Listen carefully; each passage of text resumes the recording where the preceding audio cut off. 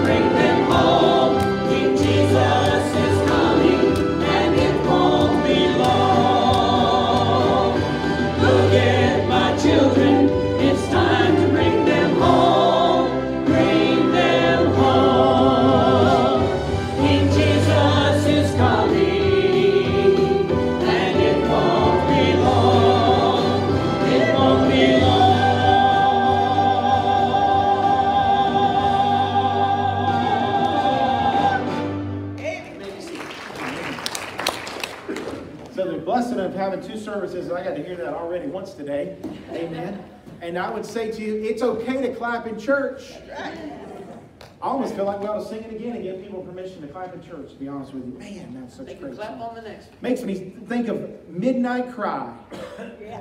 Midnight. I wish I could sing sometimes. Man, I'd sing. But anyway. All right. We want to share um, a few prayer requests with you, and I'm going to share a few announcements now with you, and then we'll have a moment of prayer. Please remember, uh, we're still requesting deacon nominations. They're right outside, right in the hallway. You can pull a sheet off the connect board. We would ask today, if you want to, just go ahead and give those to Eugene, the chair, or you can give them to me, and I'll give them to Eugene. Um, and so we can have them as soon as possible today. Also, remember, we've got a Wednesday night, family night supper meeting on Tuesday at 6 p.m. in Keller Hall. No, that's Monday, 6 p.m., Keller Hall. And then the meals start back next Wednesday night. Uh, women's ministry, Chiefland's Women's Ministry will start up August the 12th, Thursday, August 12th, steak supper, Keller Hall. 10 bucks, what a deal. Um, also, remember, we, are, we, we try to do a prayer walk every year of our schools. That will be August the 8th, Sunday at 3 p.m. at Hardeetown. We will depart from there. I'll say this if you're unable to walk, if you're saying, I just can't go walk around a school, if you just want to come and stay there in their, in their fellowship hall and pray for our schools, we would love for you to come and participate as we, um, as we sort of bless this school year. In the morning, uh, I tell you what we're going to do. A few of us are headed over to Chiefland Elementary School in the morning about 8 o'clock. We're going to take uh, biscuits and donuts and coffee over to all the teachers over there. I think there's 84 of them. So if, uh, if that's your thing and you want to join us, please meet us over there at 8, but we're going to go bless those wonderful teachers. And then Tuesday, our senior, our TNTers are going out to lunch. We're headed to Sellers Seafood in Crystal River. We're going to depart here from the church about 10. We're going to get here about 10. If you're driving on your own, meet us down there about 11, and we'll have a, a great time. We want to pray this morning. We want to pray for our deacon nominations. Uh, we want to pray for, um, of course, Pastor Greg, uh, retired pastor from Pine Grove. He's in ICU, and we want to lift him up. Uh, this morning we had a great speaker at our men's breakfast. Uh, Wesley White's son, Justin, spoke, and right now he is in Alachua at a church preaching in view of a call. And so we prayed for him then, and we're going to pray for him this morning. And then certainly Tuesday, our city elections. And uh, we want to remember those, and we certainly want to remember Rollins, others that are on the ballot, but um, we want to pray for God's people. I'll say this to you elections have implications. Amen. You're seeing them today. Because elections put people in office that drive policy. And policy affects you every day of your life.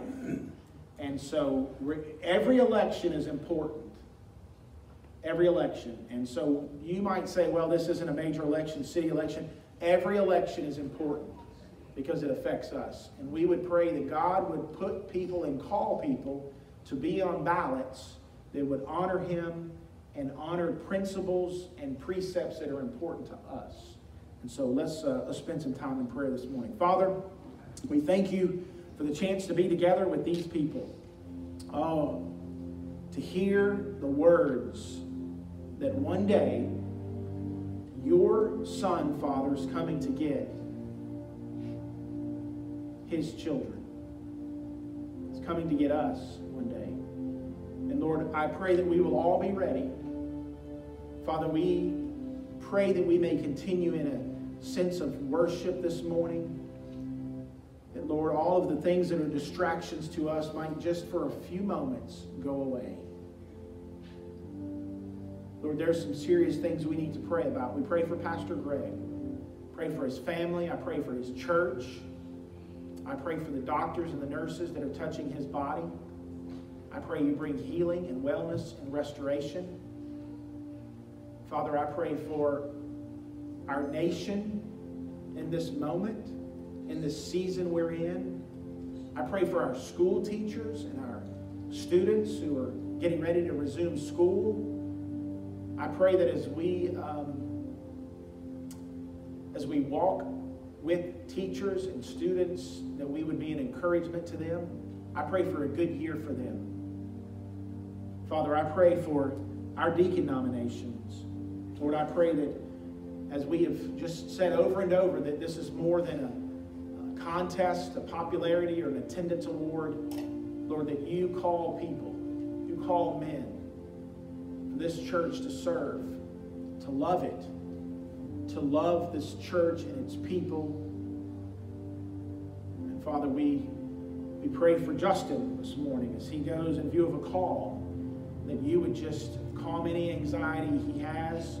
As we prayed for him this morning, we would pray that he would remember that it's a moment to preach the word, not to impress people, not to overpower them with wisdom, but to preach the word. That it's still a Sunday event where God's word should be open and rightly divided. We would ask favor upon him. We would ask favor upon Rollins. Father, we would pray for these city elections, elections that might be held throughout our country, and understand, Lord, that, that you, your hand is still over elections. You're sovereign over every piece of history. And God, we would pray that we would be people of conviction. We would be people of certainty when we vote. We would not leave you out of the voting booth.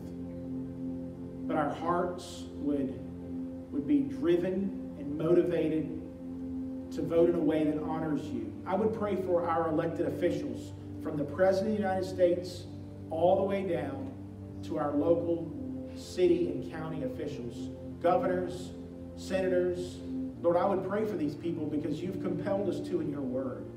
Help them, give them wisdom. Help them lead us as a nation. Father, we would pray for revival in this country. Policies aren't going to save us, and a moral candidate is not.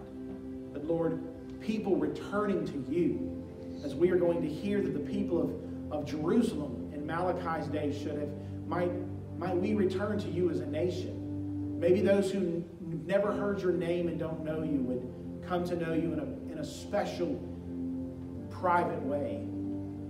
Lord, we are in need of you more than anything. So, Father, we just lift all of these concerns up. I would imagine this morning there are, there are tons of prayer, concerns, and burdens, and pains, and just hearts that are burdened with concerns they would never voice to another human, but you know them. Just as you know the head, the, the hairs that are on our head, you know our hearts. And so we would just surrender that to you this morning and say, It's yours, Lord. You know, you already know. Hear us, Lord. And in your way, in your time, you answer according to your perfect will. As we continue, might we worship you in spirit and truth. In Jesus' name, amen. Let's continue in worship this morning and all stand together. We're going to sing uh, How Deep the Father's Love for Us and go right into 10,000 years.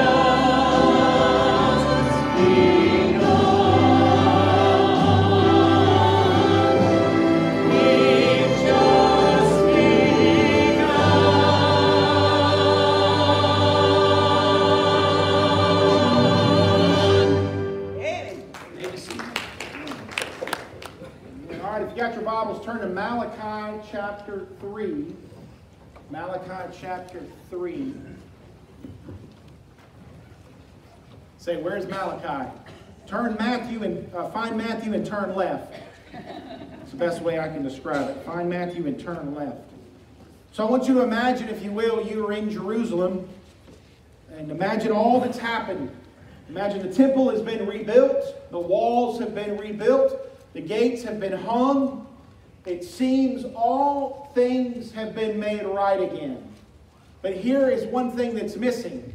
All things have made, been made right, but the people and the priests are far from God.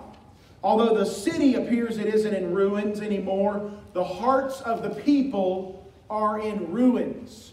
Real quick, give, me a, give you a quick timeline of how we got here. About 539 BC, the first wave of captives returned from the Babylonian captivity. That would have happened in modern day Iraq and Iran, Persia. The rebuilding of the second temple of Jerusalem started about 521 BC. Most people believe, most scholars believe that the, the temple was restored and rebuilt about 516 to 515 BC. I'm getting somewhere. Artaxerxes of Persia, remember we talked about Artaxerxes last week? Nehemiah was the cupbearer to Artaxerxes. Artaxerxes was uh, probably reigned between 465 and 424 BC. The Bible says in the book of Nehemiah that in the month of Nisan, in the 20th year of King Artaxerxes, when wine was before him, I took up the wine and gave it to the king. This would have been around 445 BC. We're marching along here in time very quickly.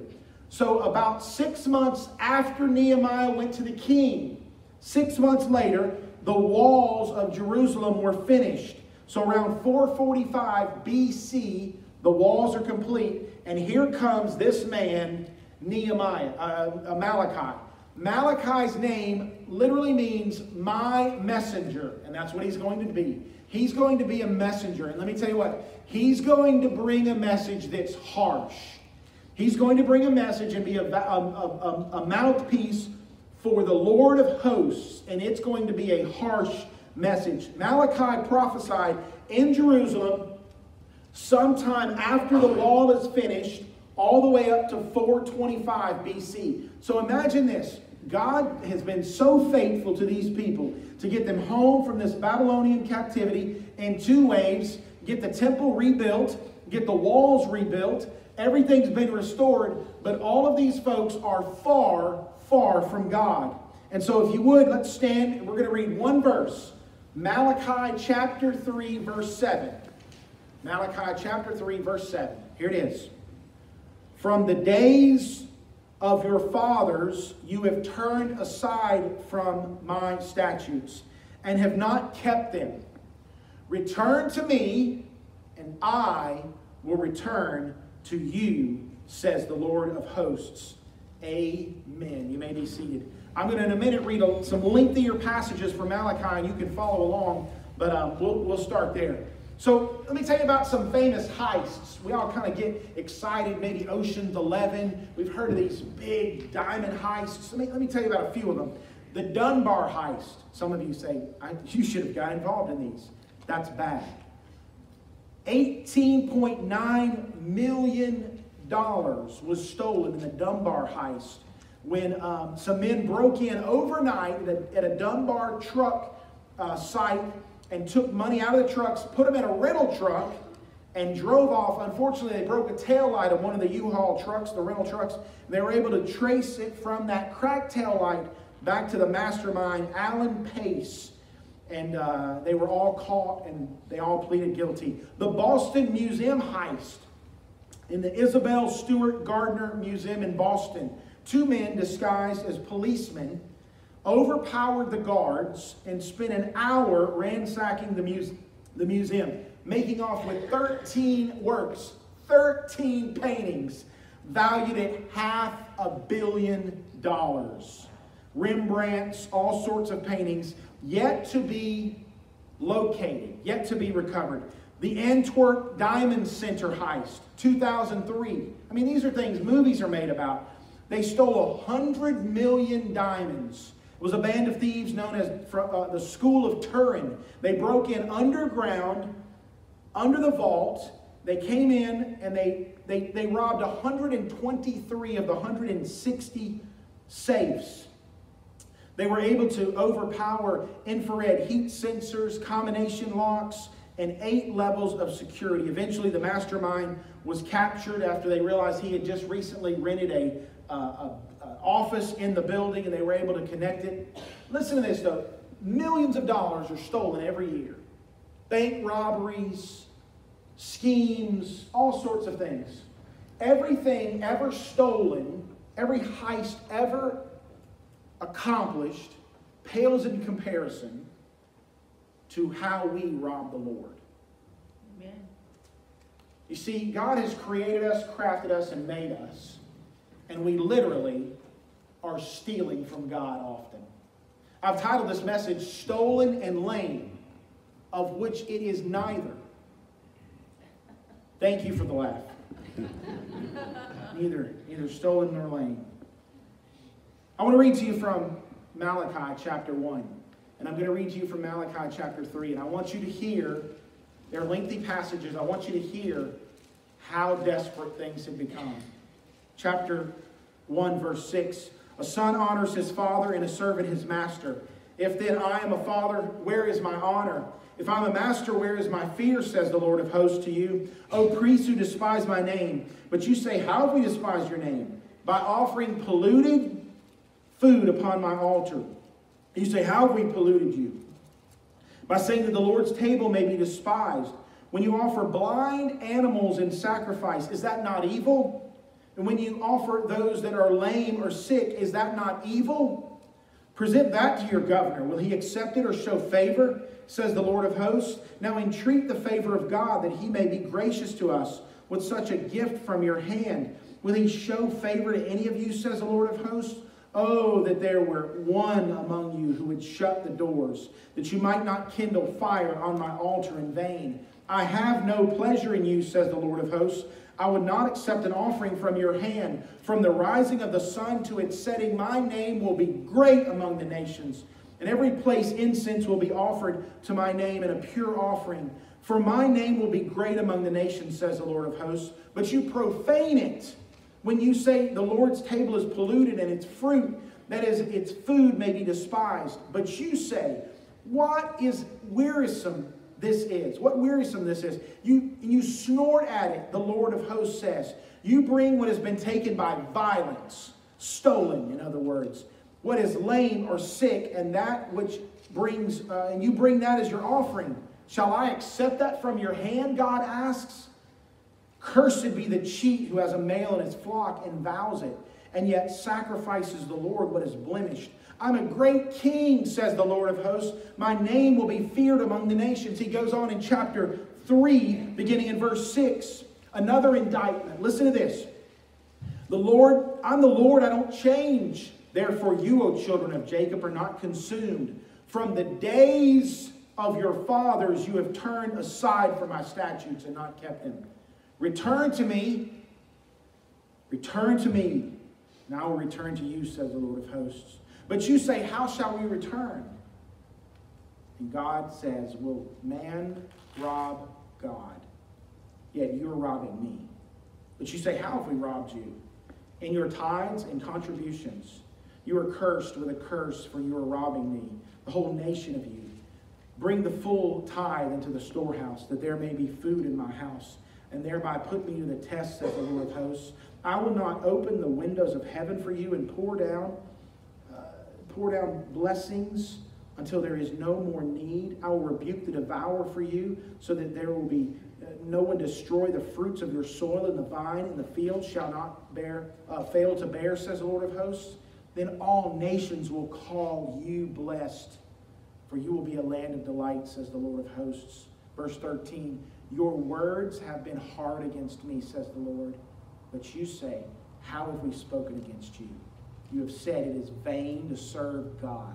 What is the profit of our keeping his charge or of walking as in the morning before the Lord of hosts? And now we call the arrogant blessed. Evildoers not only prosper, but they put God to the test and they escape.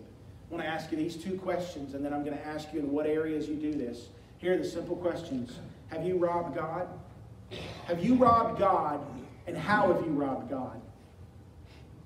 See, the people of that day were taking that which was to be sacrificed, and they were taking it and they were using broken sacrifices. They were using lame and even things that were taken by violence. And they were coming and they were saying, Here it is, Lord, here's our offering. And I'm not here to accuse you, but I'm going to tell you, I would imagine we have all robbed God. And so I would ask you, not only have we robbed him, but how have you robbed him? here are a few ways. Here's the first one. You've robbed God with your glory. You've robbed God with your glory. It isn't about us. Hey, push the button. I'm gonna, I don't know. She's 18. I'm, get, I'm still gonna get a buzzer, I think. We've robbed God. We've robbed God with, with glory. Listen, it isn't about us. This isn't about us. Nothing is about us. God wants to be glorified. He wants us to glorify Him. All that we do, listen to this, all that we do is about His glory because He is about His own glory. God wants glory. God wants the glory in everything. It's not that he's some sort of narcissistic being. No, it is about the world was created and you were created and everything should be aimed at his glory. God's purpose is to glorify himself in creation. All when, they, when all the dirt was made, when everything was made out of nothing, the goal of it was to glorify God. When relationships were created, it was created with the point to glorify God. When, when worship was created, it was created to glorify God. When we gather here, listen, we don't gather so people look at us when we leave our neighborhoods or our homes and say, oh, look at those pious people going to church. We're gathering together as God's people, worshiping the Lord. Amen. These songs that we sing, I promise you, they're not aimed at you. They're aimed at the glory of God. Amen. The preaching should be aimed at the glory of God. In fact, here's what Paul says in Corinthians whether you eat or drink, whatever you do, do all for the glory of God. You get up in the morning and in the aim is it the glory of God or is it about you? Often we say, Aren't we so smart? Aren't we so wise? Look how well I planned. Look how I can execute. No, every breath, listen to me, every breath we breathe should be aimed at the glory of God. That's, that's what was not happening in Malachi's day. There was no glory of God. They could care less. And so I would just say to you, first thing is, man, we ought to be about glorifying God. Here's the second thing. We ought to, we, we need to realize that we have robbed God with our time. All kinds of folks in here with all kinds of means, some with a lot and some with a little, but we all have the same amount of time. You can't buy time. You can't buy time. And so, how do you rob God? Well, here's one way we do it. We rob the Lord in the New Testament. We rob Him by, by, uh, by taking away time and service. We take, we, we take, the Lord wants us to be people who are serving the church. Listen, if Christ saved you, hear this real preciously. If Christ saved you, He didn't just save you to do this. There's nothing wrong with worship. One day we're all going to be in eternity, if you know Jesus, and we're going to be worshiping forever, right? We're going to be worshiping forever for eternity, but He's called you right now to do something for the kingdom.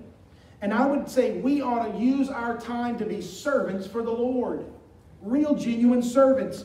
We, we spent Wednesday nights, we spent over a year in Wednesday night in the book of Mark.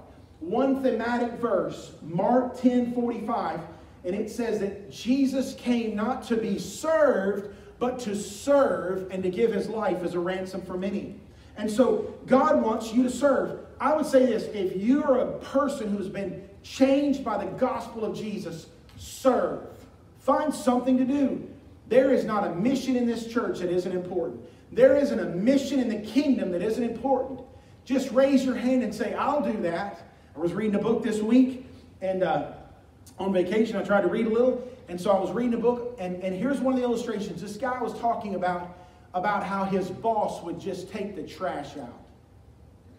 He didn't have to take the trash out, but he would take the trash out. And it spoke to that guy. And so he would, he would say, I don't want my boss to have to take the trash out. So he would make sure that he cleaned everything, swept extra well, and took the trash out as a way of service. Christ wants us serving. So I would say some of us have robbed the Lord in our sense of service. Some have robbed the Lord in our sense of time spent with the Lord. Can I say this? The Lord wants to commune with you. He wants you to get up in the morning and open the Word of God and read it. Now, some of you have been bogged down because in the F-260 plan, we've been in the Old Testament. And I know for some that's, that can be, uh, can be a, a laborious task. Good news. Good news. Luke starts tomorrow. Right? Who doesn't, who doesn't need a little word from Dr. Luke? And so I'd encourage you tomorrow, if you if you haven't been on this train with us, if you got lost in Leviticus or Deuteronomy or Ezekiel or one of those books and you say, I, I just can't do this anymore, I'm just going to go read the Psalms. Tomorrow morning is a good time to start spending time with the Lord. You need to be committed to spending some time with God. Don't rob Him of the time He's given you. And I would even say this to you this is important. What you're doing is important. What you're doing before the Lord in worship is important. You know what? You ought to make a commitment for this. You ought to write this down and say, I'm going to be in worship on Sunday morning at 8:30 or 10:45. I'm going to worship the Lord. I'm not going to rob God of his time. It's his time. He's the one that has given us the time. So I'd encourage you, get up in the morning and spend some quality time with God. Talk to Him in prayer. Turn the radio off on your commute to work and get in front of God and stop robbing Him. Here's another area we rob God in our treasures. We rob the Lord in our treasures. We, we say, All of this is mine. Man, let me tell you what. We hold, sometimes, we hold our possessions this tight. And we say, It's all mine. This is mine, mine, mine. I've made my own kingdom. Let me tell you something. There isn't anything you have that God didn't graciously bestow upon you. It really isn't yours. It really isn't yours. It's the Lord's. Just as the church has been entrusted to be stewards with what we collect, you are to be a steward with what God's blessed you with. It might be a lot, and it might be a little. But these people in this day, in Malachi's day, they were not even bringing a tithe into the storehouse. God is convicting them in many ways. Not only they're they not bringing the tithe in, they're bringing uh, sacrifices in that are lame and broken and useless and they're blemished. And look, that's how we sometimes treat God. Here's a little token of what I could return to you, Lord. Listen, none of this, none of this is yours. In fact, it could all be gone tomorrow. You know what? I can't ever, I can't imagine. I've done plenty of funerals. My kids always get uh, uh, funny about this when I tell, when I say, there's a radio station we were listening to, and there's a DJ in South Alabama, and I performed his wedding for his daughter. And uh, so I'll always say, I married this guy's daughter. And my kids always go, How many times have you been married, Dad? right? And then one of them got on a trip, well, you've married 15 people. I said, I've done far, I've married far more than 15 people. But I can't tell you how many funerals I've done. Listen to this. I can't tell how many funerals I've done where we stood over a casket and said, well, there's old Ned. Old Ned was just too generous. No one's ever said at a funeral of anyone they were too generous with their resources. Let me tell you what, God wants us to have open hands. God wants us to have open hands. When we support the local church, can I tell you this? You're not just paying the preacher and keeping the lights on. That's, that's ridiculous talk. No, we should be involved in kingdom activities. You should feel like every dime or dollar that you give is going to expand the kingdom. That we're discipling young children, that we're discipling youth, that we're even discipling senior adults. We have senior adult Bible study. And my hope isn't that we're entertaining them, that we're growing them to look more like Jesus. you should say every dollar and every dime that I give is going to the kingdom to expand it, to send missionaries, to grow God's work. And so we, we ought to be people who have open hands and say, Lord, this isn't my stuff. This isn't mine. Your kids are just going to go all spend it when you die anyway. And then we have our talents. Our talents. Listen, besides the spiritual gifts that the Lord has blessed you with, and by the way, everybody has a spiritual gift. And so when you become a believer, the Holy Spirit of God takes up residence in your life. Ephesians says the Bible seals us, and that is a promise of our inheritance. Not everybody's going to get an inheritance, only the people that are children of God. And so he seals us with that, and he also bestows upon us a spiritual gift. Everyone in the kingdom that's a believer has at least one spiritual gift. And you should be using that for the building up of the body of Christ. But let me say this too some of you are talented. You have talents besides spiritual gifts. I have some spiritual gifts and no talent.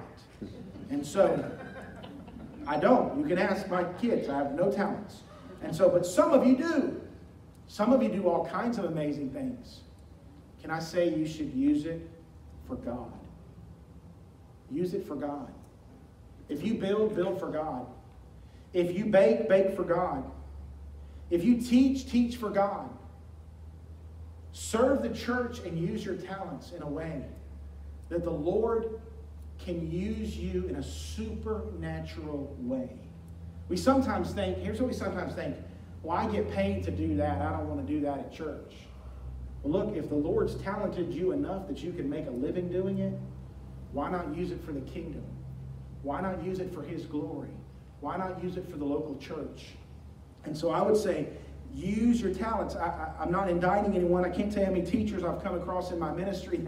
They'll say, I teach kids five days a week. I'm not teaching kids at church. Well, hey, look, if you're good at it, and God's blessed you to do it, and you ought to use it for His glory, right? You ought to use it for His glory. And then I would say this to you, lastly. What about you? What about you? Are you robbing the Lord of you? Let me tell you what was going on in this. Again, let me give you this picture. It's modern day Jerusalem. Temple's built, walls are up, and here are the people. And the people are bringing to God lame junk, broken, blemished garbage to be sacrificed. Now that's bad enough that the hearts of the people are far from God. What makes it even worse is that the priests of the day were willing to accept it. They were supposed to be, in a sense, the, they were supposed to be this, this, this group of men who were supposed to protect the sacrifices. But here they're letting this junk come in. And they didn't have a problem with it. So God in Malachi is not just indicting the people of that day, He's indicting the priesthood of that day. But here we are in 2021 and the sacrifices are gone. Right? We don't have a bloody altar. We don't have incense. We don't have a lot of the temple furniture they had. All of that is gone. We've had an ultimate sacrifice, and that ultimate sacrifice has been the Lord Jesus Christ. But now there's also a sacrifice in the New Testament that's mentioned. And guess what it is? It's you and me. Here's what Paul says in Romans I appeal to you, brothers, by the mercies of God to present your bodies as a living sacrifice, holy and acceptable to God, which is your spiritual worship. Do not be conformed to this world, but transformed by the renewing of your mind, that you may prove the will of God, that which is good and acceptable and perfect. So we're not going to pull we're not going to pull an animal in here tonight and sacrifice it. We're not going to make a blood sacrifice or even fragrant sacrifice. But now, friends, you're the sacrifice. Are you robbing God with all that you are? Are you robbing the Lord of your energy that you could give to his kingdom work? Are you robbing the Lord When you get up in the morning and say, No, this is my body, my mind, my soul, this is all mine. That's not what the Bible says. The Bible says, I appeal to you. Your translation may say, I urge you, I beseech you. Therefore, brothers, by the mercies of God, it is only through the mercy of God that you're a child of God, that He redeemed you and bought you, and that you are His. And now He says to him, present your bodies as a living sacrifice. Some of you get up every morning and slide off the altar. And you say, I'm not God's today. Some of you might be involved in, in immoral lifestyles, and you say, It's not the Lord's body, it's mine. Some of you are involved in inappropriate relationships. It's the Lord's body. Remind, be, be mindful, it's not yours. The Bible is very clear. We are a living sacrifice. So you don't what you don't want to do is you don't want to be like the, the people and the priests of that day, and what you bring to God is just broken. Useless. Here, here I am, Lord. You can have the last 10% that's left that's any good. Just as we give to God our first fruits, we give to the Lord right out of that first gifts that we receive, that first financial blessings that we receive, we give to the Lord that. We should give to the Lord the best we have. If you got a good voice, you ought to give it to God. Amen. If you've got a good mind, you ought to give it to God. If you can serve in some way, you ought to give it to God. Here's what I would beseech you, urge of you don't rob God of any of these things. But let me end this with really where I started. Do you need to return to the Lord? All the way back in Psalm 51, the Bible says that, that He would turn sinners from their way and they would return to Him. Some of you have never known the Lord. There's no returning to do because you're not a child of God. Maybe this morning is the morning to embrace the gospel, to embrace the cross, to embrace the sacrifice that was made for you so that you can be a living sacrifice. Maybe today you're like so many where your heart and your mind is far from God. I remind you of these words from Malachi 3 7. From the days of your father, you have turned aside from my statutes and not kept them. Return to me, and I will return to you, says the Lord of hosts. I wonder today, are any of you far away from the Lord? You know what? It's okay to be far away from the Lord. It's not okay to stay there.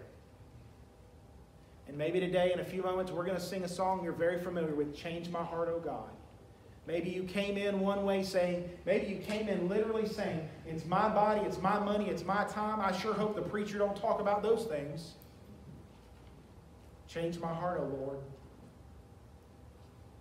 Change my heart, O God, that I might be the way you want me to be. That I might walk in your statutes and in accordance with your word. And that the Lord, listen, the Lord is always waiting on you to return to return to Him. You may say, Pastor, I'm guilty of all of these. I'm guilty of every single one of them. That's okay. You know why? There's grace and there's mercy. There's grace and there's mercy. And He will meet you right where you're at today. And He will forgive you and He will restore your relationship with Him. And it would be aimed at His glory. Let's stand and we're going to pray and we're going to sing. Father, we don't know the hearts of the people who are here, but you do. Some are far from you, some are very, very near to you, some are close. Some got up this morning and even spent time in your word before, before coming to church.